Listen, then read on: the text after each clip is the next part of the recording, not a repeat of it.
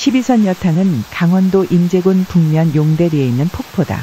밤마다 선녀들이 하늘에서 내려와 목욕을 했다는 전설이 있어 선녀탕이라 부른다. 예로부터 12개의 탕이 있다 전해져 12선녀탕이라 한다. 약 85m에 걸쳐 폭포와 탕이 연속적으로 나타나고 푸른 물이 마치 옥구슬 수십만 개가 떨어지듯 기교를 부리며 안반이를 흐르는 모습이 가이장관이다. 12선녀탕들 중 복숭아처럼 생긴 깊은 구멍이 있는 복숭아탕은 가장 아름다운 탕으로 손꼽힌다.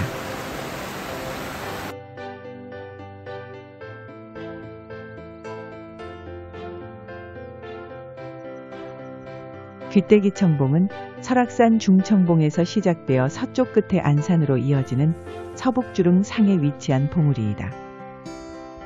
귀때기 청봉 귀때기 청봉이라는 이름에는 재미있는 전설이 있는데 이 봉우리가 설악산의 봉우리 가운데 가장 높다고 으스대다가 대청봉, 중청봉, 소청봉, 삼형제에게 귀싸대기를 맞았다는 전설에서 유래됐다고 한다. 또 귀가 떨어져 나갈 정도로 바람이 매섭게 분다고 하는 데서 유래됐다고도 하는데 어쨌든 재미있는 이름이다. 공룡능선입니다.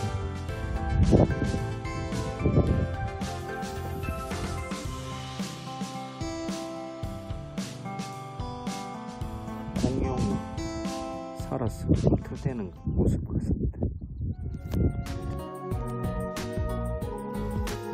해발 1000m 이상 고산지대 바위 틈에서만 서식하는 꽃풀인 솜다리. 6월이면 설악산 공룡능선의 벼랑 위에 무리 지어 핀다.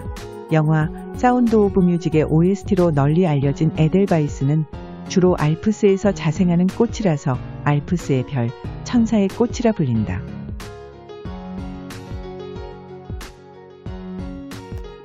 멸종위기의 보호식물로 솜털에 덮인 별 모양의 하얀색 꽃으로 우리나라에서는 설악산과 한라산에서만 발견되는 행운을 불러온다는 귀한 꽃이다.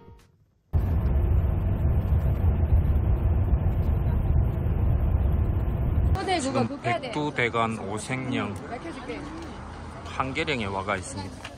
오늘 등산하는 코스는 한계령 깃대기 청봉, 큰감 투봉, 대성령 12선녀탕 계곡, 남교리 깃대기 천공 그 18.5km 11시간 구간입니다.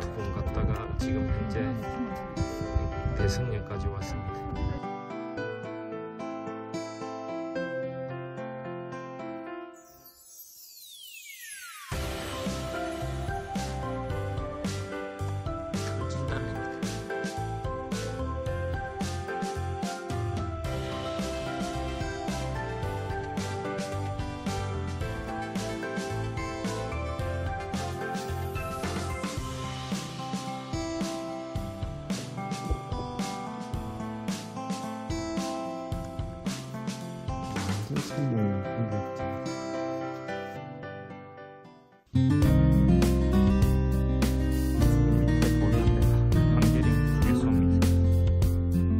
저기 앞에 보이는 봉우리가 깃대기 청봉입니다.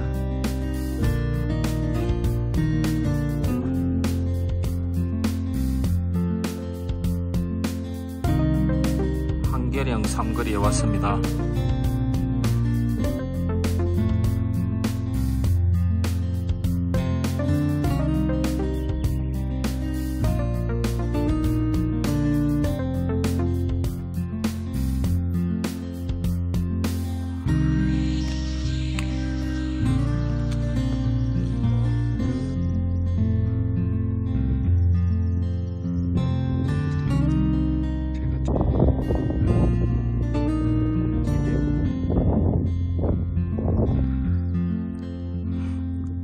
여기 너들길에서 깃대기 청봉까지 이 길이 구분하기 힘들어서 말뚝을 박아놨습니다.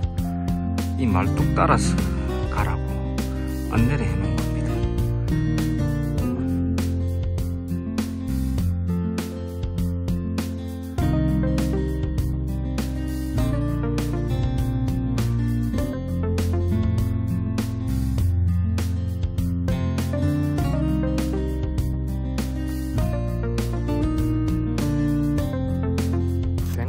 600원짜리 전망 앞에서 압수수색으로 빵을 먹고 있습니다.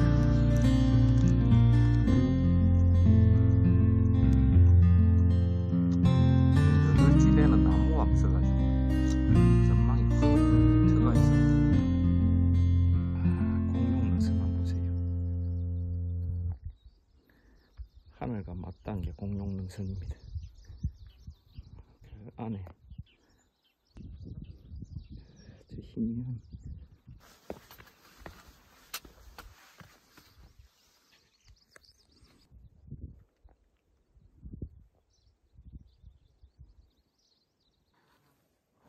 산철쭉이 예쁘게 폈네요. 이게 6월에 피는 털 진달래랍니다. 고산지대에서 생각하는데 기대기 천봉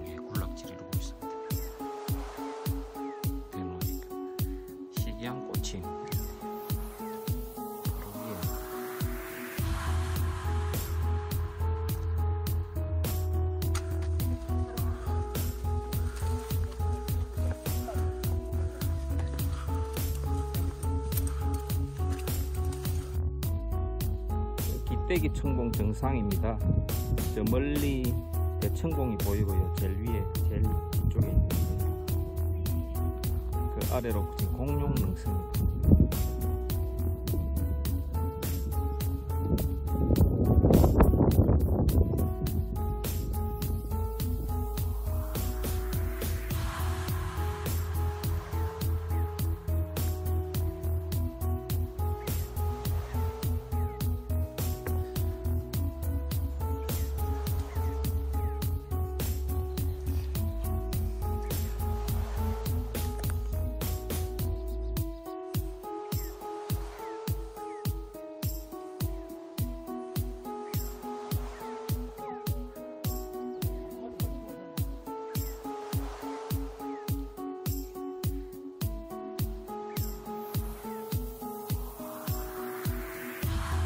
완전히 천상의 하원입니다.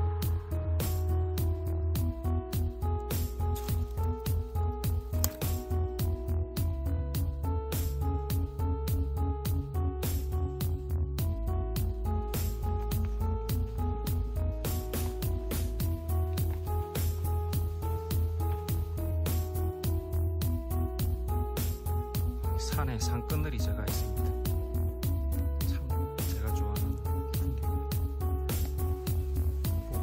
복숭아탕까지는 2.8km고 12승류탕까지는 7km 남았습니다.